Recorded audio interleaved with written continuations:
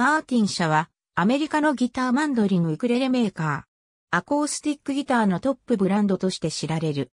1970年代に当時の日本の輸入代理店であった東海楽器のカタログ表記ではマーティンと表記されているが、マーチンと表記されることもある。ハンク・ウィリアムス、エルビス・プレスリー、ポール・サイモン、エリック・クラプトン、ボブ・ディラン、ジミー・ペイジ、クロスビー、スティルス、ナッシュヤング、ニール・ヤングなど、列挙に、いとまがないほど、世界中のミュージシャンに愛用されてきた。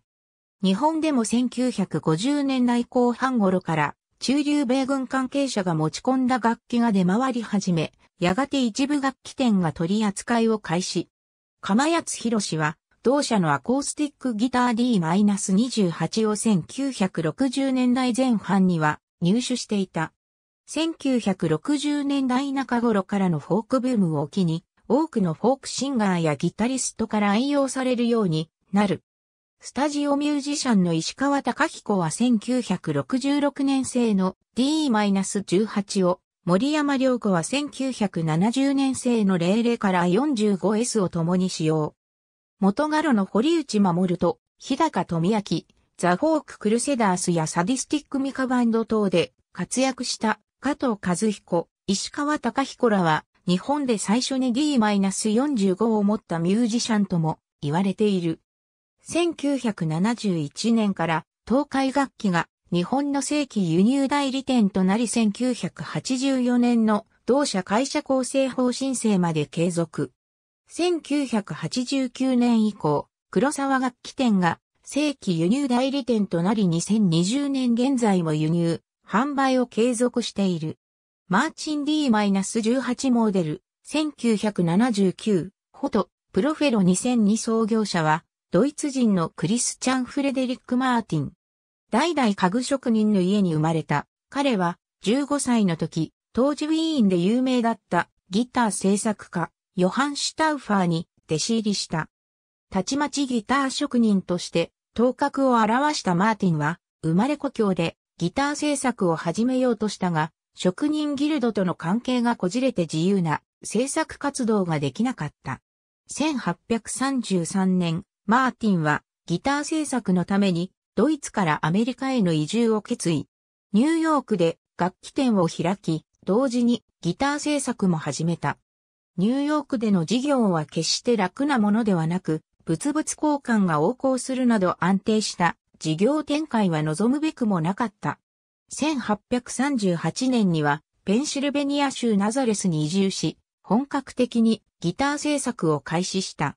1867年に初代クリスチャン・フレデリックが亡くなった後、彼の息子クリスチャン、フレデリック JR が事業を継いだ。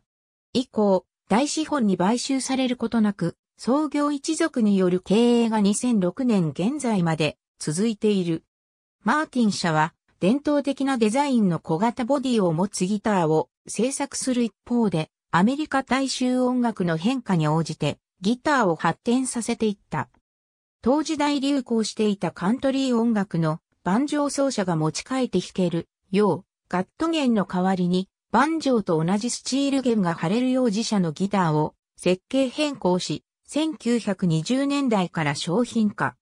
また現在のスティール弦アコースティックギターのほぼすべてに使われている X ブレーシングによる評判の補強もマーティン社の発明と言われている。その後00、000、D と音量を大きくするためにボディサイズを大きくしたモデルを相次いで発表。中でもドレッドノートタイプは第二次大戦後に大人気となり、現在のアコースティックギターの基礎となった。なお、戦前に40本製造されたいわゆるオリジナル OM-45 や91本だけ製造されたいわゆるプリオー D-45 モデルは当時のフラッグシップモデルであることに加え多く生産されなかったため、ヴィンテージギターとしては極めて希少価値の高いものである。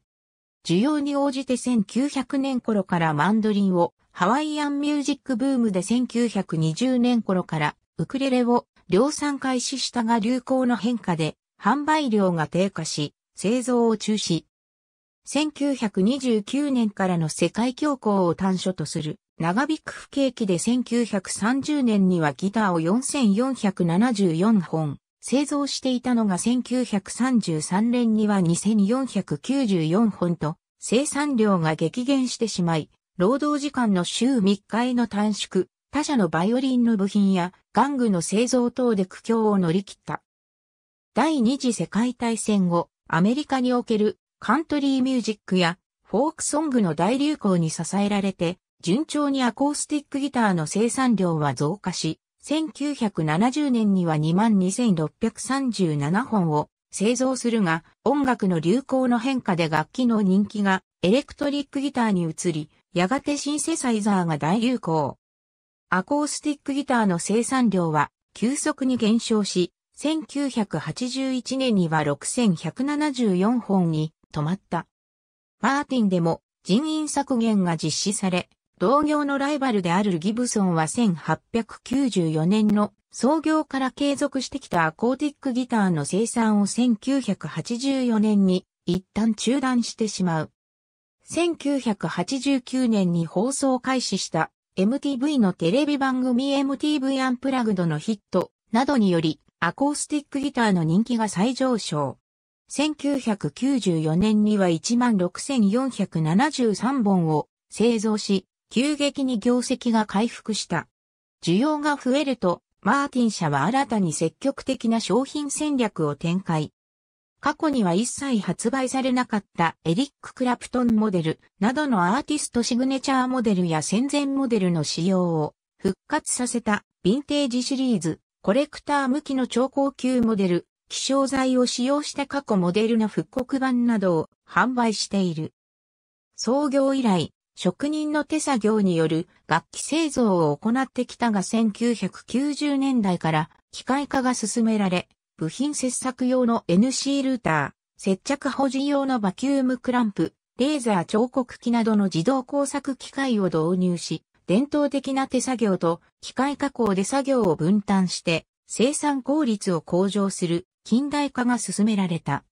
また、従来マーティンでは製造してこなかった初心者にも入手しやすい廉価モデルや廉価版のウクレレ等の製造を開始した。楽器用の木材が禁止になる中で、ハイプレッシャーラミネートと称する新素材を開発、高級品のラインナップにもエレクトリックアコースティックギターを加えるなど2020年現在制御中である。YG ブック編集部、マーチンギターブック34ページ。室内で少人数の聞き手を対象に演奏するよう設計されており、パーラーサイズと呼ばれる。マーティンでは各サイズを数字で故障したが企画は、まちまちで、1854年に0サイズが発売されて小さい順に5.43.2.0と呼ぶシステムに統一した。サイズを表す番号もしくは記号に使用する木材や装飾を表すスタイルの番号を組み合わせて表記し、現在まで使用されている。ギターグラフィックボリューム56ページ。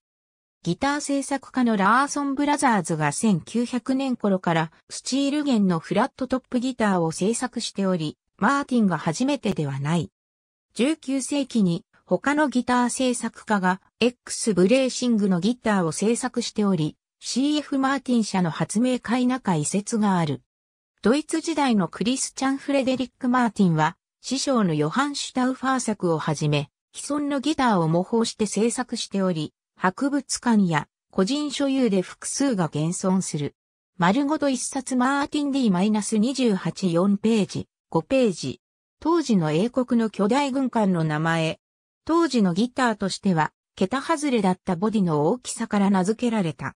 大手楽器賞ディットソン社向けの OEM 生産品が、そのルーツでリットソン社廃業後に改良した上で1931年マーティンから発売開始。アメリカ本土で流行したハワイアン、風ミュージックのことで、本来のハワイアンミュージックとは異なる。ヴィンテージギター編集部、マーティン D-28 という伝説36ページ、38ページ。ABCD、丸ごと一冊マーティン D-28、133ページ。ヴィンテージギター編集部、マーティン D-28 という伝説38ページ。YG ブック編集部、マーチンギターブック53ページ。丸ごと一冊マーティン D-2826 ページ。YG ブック編集部、ギブソンギターブック57ページ。丸ごと一冊マーティン D-2854 ページから61ページ。ありがとうございます。